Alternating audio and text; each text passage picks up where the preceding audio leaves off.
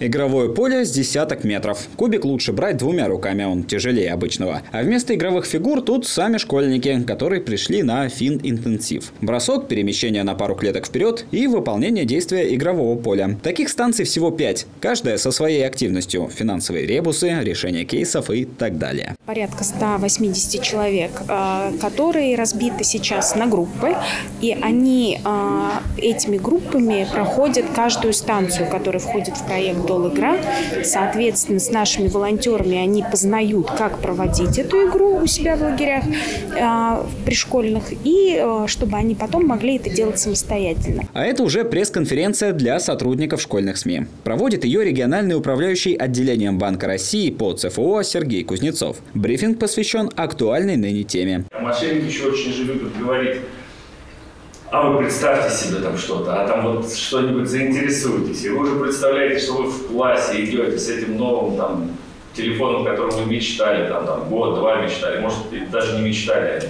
И вот они вот э, взгляды, все, все, у вас голова уже кружится совсем в другом направлении. О кибермошенниках, кстати, рассказывают не сухими цифрами. Все на примере школьной жизни. На что мошенники обычно напирают, как заставляют свою жертву им поверить. И, как настоящим репортерам, а ребятам разрешили задать свои вопросы. Они задали вопросы те, которые были им интересны. Я видела, многие записывали то, что рассказывал Сергей Викторович. И думаю, вполне интересно. Даже такая, казалось бы, скучная станция, как разгадывание ребусов, не была вялой. У каждого слова своя история. Зачастую случаи из жизни. Так информацию запомнить куда легче. Все примеры мошенничества или обучения финансовой грамотности на примере жизненных ситуаций. Например, стоит ли при перечислении стипендий на банковскую карту говорить позвонившему сотруднику банка три цифры на обороте карты. Настольная игра – это для как раз для начальной школы, очень будет классно. Я думаю, нашим ребятам из нашей школы понравится. А также игра по станциям, которая ну, в основной на первой станции была.